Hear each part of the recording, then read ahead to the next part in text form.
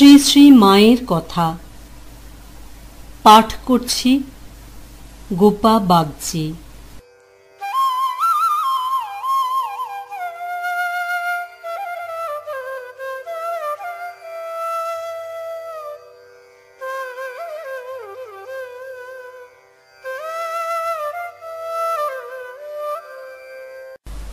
ষোলো এক বারো, দোসরা মাঘ, তেরোশো আঠেরো। উদ্বোধন মায়ের ঘর, সকালবেলা। আমি বলিলাম, মা, চৈতন্যদেব নারায়ণীকে আশীর্বাদ করলেন। নারায়ণী, তোমার কৃষ্ণে ভক্তি হোক।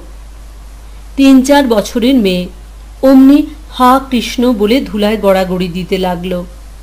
একটি গল্প আছে যে, নারদের সিদ্ধি লাভের পর একটা পিঁপড়ে দেখে হঠাৎ কীরকম দয়া এলো। ভাবলেন আমার কত জন্ম তপস্যার পর তবে সিদ্ধি লাভ হলো, আর এর মানুষ হতেই তো কত দেরি। দয়ায় পিঁপড়েটাকে আশীর্বাদ করলেন, মুক্ত হয়ে যাও, মুক্ত হয়ে যাও। অমনি পিঁপড়েটা পক্ষী, পশু ইত্যাদি ইতর জীব দেহ ধারণ করে ক্রমে মানুষ হলো। মানুষ দেহে অনেক জন্ম ভোগ করে করে ক্রমে তপস্যায় মন এলো এবং ভগবানকে আরাধনা করে মুক্ত হলো। এসব অসংখ্য জন্মের খেলা নারদের চোখের সামনে যেন মুহূর্ত মধ্যে হয়ে গেল। তা মহাপুরুষের কৃপা হলে তো যখন তখন হয়। তা হয়। আমি বলিলাম, তবে শুনেছি অপরের পাপের বোঝা নিয়ে শরীর থাকে না। যে শরীর দ্বারা অনেকের উদ্ধার হতো, সে শরীর হয়তো একজনের জন্যই ক্ষয় হয়। মা বলিলেন হ্যাঁ তাঁর শক্তিও কমে যায়। যে সাধন তপস্যার শক্তির দ্বারা অনেকের উদ্ধার হতো, তা একজনের জন্যই ক্ষয় হয়ে যায়। ঠাকুর বলতেন, গিরিশের পাপ নিয়ে আমার শরীরে এই ব্যাধি, তা গিরিশও এখন ভুগছে। আমি বলিলাম, মা, আমি একদিন স্বপ্ন দেখি যে একটা লোক মাথায় ঝাঁকড়া ঝাঁকড়া চুল, এসে তোমাকে খুব ধরে বসেছে। তুমি যাতে তাকে সদ্য সদ্যই কিছু করে দাও। সে তোমার কাছ থেকে পূর্বে মন্ত্র নিয়েছে। কিন্তু নিজে কোনো সাধন ভজন করবে না। তুমি বলছো, একে যদি আমি এখনই কিছু করে দিই, তাহলে আমি আর বাঁচব না। আমার দেহ থাকবে না। আমি দুহাতে তোমাকে নিষেধ করছি আর বলছি, ওকে কেন করে দেওয়া? ও নিজে করতে পারবে, সাধন করুক। সে ওই রকম বারবার বলাতে তুমি তক্ত হয়ে তার বুক ও ঘাট স্পর্শ করে কি করে দিচ্ছ? এবং খানিক করতেই কেবল ওই বলছো, একে যদি আমি এখনই কিছু করে দিই, তাহলে আমি আর বাঁচব না। আমার দেহ থাকবে না। তখন স্বপ্ন ভেঙে গেল। আচ্ছা দেহ ধারণ করলে কি শক্তি সীমাবদ্ধ হয়? হ্যাঁ তা হয়। এক একটা লোকের জ্বালায় তক্ত হয়ে অনেক সময় মনে হয় আর এ দেহ তো যাবেই, তা যাক না এক্ষুনি, দিয়ে দিই। এই যে রাধি রাধি করি, এ তো একটা মোহ নিয়ে আছি। আমার পাগলা টাগলাকে ভয় করে। আবার সেইটে আবার সেইটে আসে নাকি করে? তুমি চলে যাচ্ছ, ভয় হয়। মা, ভগবান দর্শন মানে কি জ্ঞান চৈতন্য লাভ? না আর কিছু? জ্ঞান চৈতন্য লাভ না তো আর কি? নতুবা কি দুটো শিং বেরোয়? এদের ভগবান দর্শন মানে অন্যরকম তাকে চোখে দেখা, কথা বলা। মা বলিলেন, বাবাকে দেখিয়ে দাও, বাবাকে দেখিয়ে দাও, বলছ। তিনি এত কারুর বাবা নন, গুরু, কর্তা, বাবা। এই তিনে তার গায়ে কাঁটা বিধত। কত মুনি ঋষি যুগ যুগান্তর তপস্যা করে পেলে না? তার সাধন নেই, তপস্যা নেই, এখনই দেখিয়ে দাও। আমি অত পারব না। তিনি কাকে দেখিয়ে দিয়েছেন বলো না। আচ্ছা মা, কেউ চাচ্ছে কিন্তু পাচ্ছে না, আবার কেউ চাচ্ছে না তাকে দিচ্ছেন। এই কথার মানে কি? ঈশ্বর বালক স্বভাব কি না? কেউ চাচ্ছে তাকে দিচ্ছেন না, আর কেউ চায় না তাকে সেধে দিচ্ছেন। হয়তো তার পূর্বজন্মে অনেক এগুনো ছিল। তাই তার উপর কৃপা হয়ে গেল। তাহলে কৃপাতেও বিচার আছে? তা আছে বই কি? যার যেমন কর্ম করা থাকে, কর্ম শেষ হলেই ভগবান দর্শন হয়। সেটি শেষ জন্ম। মা, জ্ঞান চৈতন্য লাভ করতে হলে সাধন কর্মক্ষয় সময় এসব দরকার মানলুম। কিন্তু তিনি যদি আপনজন হন তবে কি তিনি ইচ্ছা করলেই দেখা দিতে পারেন না? ঠিক কথা। তবে এ সূক্ষ্মটি তুমি যেমন ধরে বসেছ, তেমনটি আর কে ধরে বসেছে? সবাই ওটা একটা করতে হয়, তাই করে যাচ্ছে। ঈশ্বরকে চায় কজনে? আমি বলিলাম, আমি তোমাকে আগে একদিন বলেছিলাম যে, আপন মায়েরও যদি যত্ন স্নেহ না পায়, তবে ছেলে মাকেও মা বলে জানে না। তা তো ঠিক কথাই। দেখা না পেলে কোথা থেকে ভালোবাসা হয়? এই তোমার সঙ্গে দেখাটি হয়েছে, আমি তোমার মা, তুমি আমার ছেলে। এক, দুই, বারো। উদ্বোধন। আজ রাত প্রায় সাড়ে নয়টার সময় মায়ের কাছে গিয়াছি। সমস্ত দিন যাই নাই দেখিয়া মা জিজ্ঞাসা করিলেন, তুমি আজ কোথায় ছিলে? আমি বলিলাম নিচে হিসাব নিয়ে ব্যস্ত ছিলাম। মা বলিলেন, প্রকাশ তাই বলছিল, যে ত্যাগ করেছে তার কি আর ওসব ভালো লাগে? ঠাকুরের মাইনে নিয়ে হিসাবে কি গোল ছিল, কম দিয়েছিল? আমি খাজাঞ্চিকে বলতে বলায় বললেন, ছি ছি, হিসাব করব। ঠাকুর এইটি আমাকে বলেছিলেন, যে তার নাম নেয়, তার কোনো দুঃখ থাকে না। তা আবার তোমার কথা? এটি তার নিজ মুখের কথা। তাঁর ত্যাগই ছিল ভূষণ। আট দুই বারো, উদ্বোধন। ঠাকুর ঘরের পাশের ঘরটির উত্তরধারে মাদুর কিংবা কম্বল পাতিয়া দেওয়া হইত। মা সকালবেলা ওইখানটিতে অনেক সময় বসিতেন। কখনো একটু জপ করিতেন, পূর্বমুখ হইয়া বসিয়া। আমরা যখন এই ঘরে মায়ের সঙ্গে কথাবার্তা বলিতাম, তখন প্রায়ই এইখানে বসিতাম। আজও মা এই স্থানে বসিয়া আছেন। মা, তুমি দক্ষিণেশ্বরে কতদিন ছিলে? তা অনেক দিন ছিলাম। ষোলো বছরের সময় এসেছি। অদবধি বরাবর ছিলুম। মধ্যে মধ্যে বাড়ি যেতুম।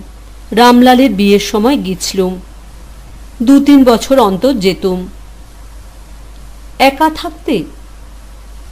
কখনো কখনো একা ছিল আমার শাশুড়ি থাকতেন। মধ্যে মধ্যে গোলাপ, গৌরদাসী এরা সব থাকত। ওইটুকু ঘর, ওরই মধ্যে রান্না, থাকা, খাওয়া সব। ঠাকুরের রান্না হতো। প্রায় পেটের অসুখ ছিল কি না? কালীর ভোগ সহ্য হতো না। অপর সব ভক্তদের রান্না হতো। লাটু ছিল রামদত্তের সঙ্গে রাগারাগি করে এলো। ঠাকুর বললেন, ওই ছেলেটি বেশ, ও তোমার ময়দা ঠেসে দেবে। রাত দিন রান্নাই হচ্ছে। এই হয়তো রামদত্ত এলো। গাড়ি থেকে নেমেই বলছে, আর ছোলার ডাল আর রুটি খাব। আমি শুনতে পেয়েই এখানে রান্না চাপিয়ে দিতুম। তিন চার সের ময়দা রুটি হতো। রাখাল থাকতো, তার জন্য প্রায়ই খিচুড়ি হতো। সুরেন মিত্তির মাসে মাসে ভক্ত সেবায় দশ টাকা করে দিত। বুড়ো গোপাল বাজার করত।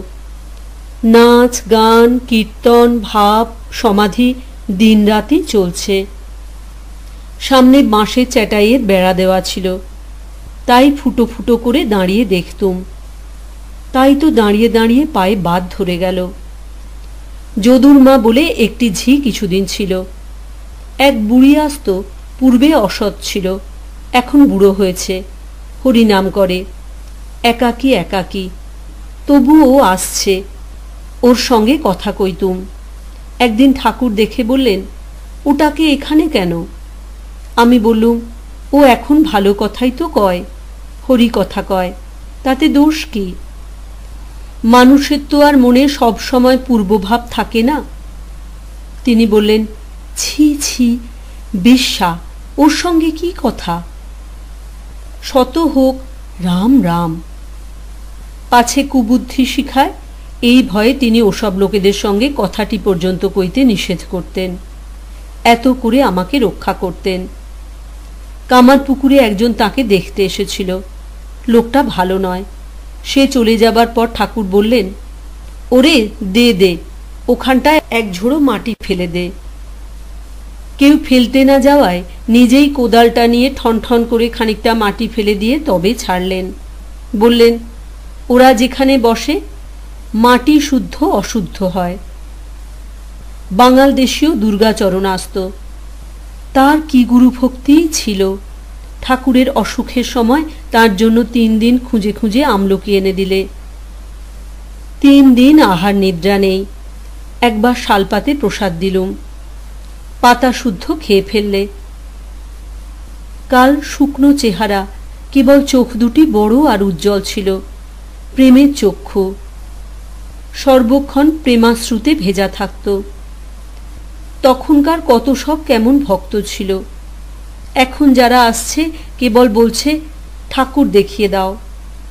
সাধন নেই, ভজন নেই জপ তপ নেই, কত জন্ম, কত কি করেছে কত গো হত্যা, ব্রহ্ম হত্যা, ভ্রূণ হত্যা করেছে।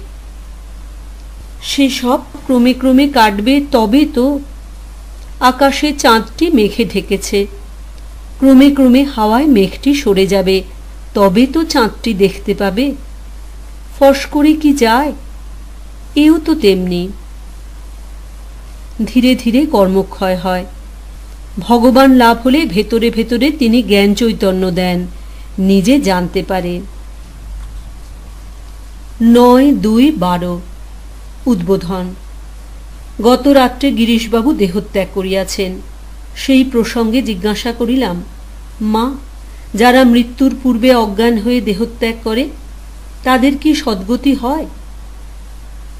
অজ্ঞান হবার পূর্বে যে চিন্তাটি ছিল, সেই চিন্তাটি নিয়ে অজ্ঞান হয়েছে।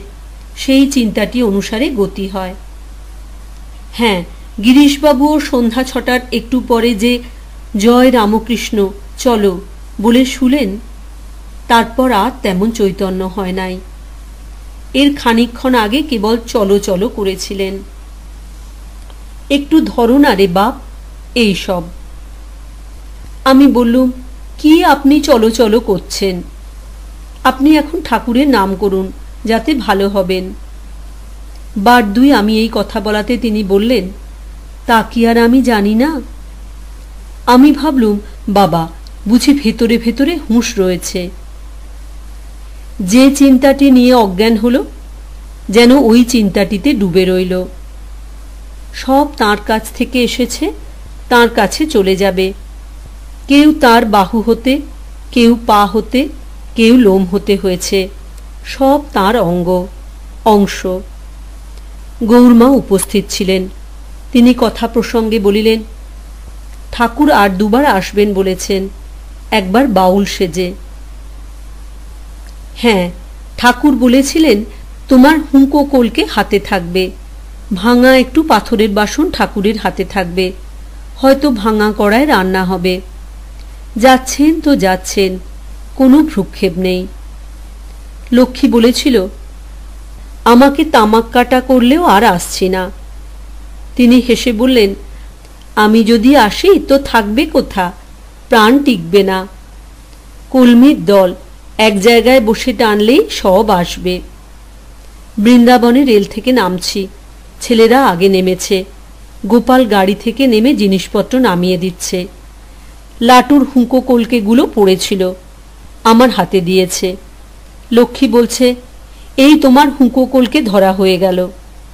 আমিও, ঠাকুর ঠাকুর, এই আমার হুঁকো কলকে ধরা হয়ে গেল বলে ধূপ করে মাটিতে ফেলে দিয়েছি।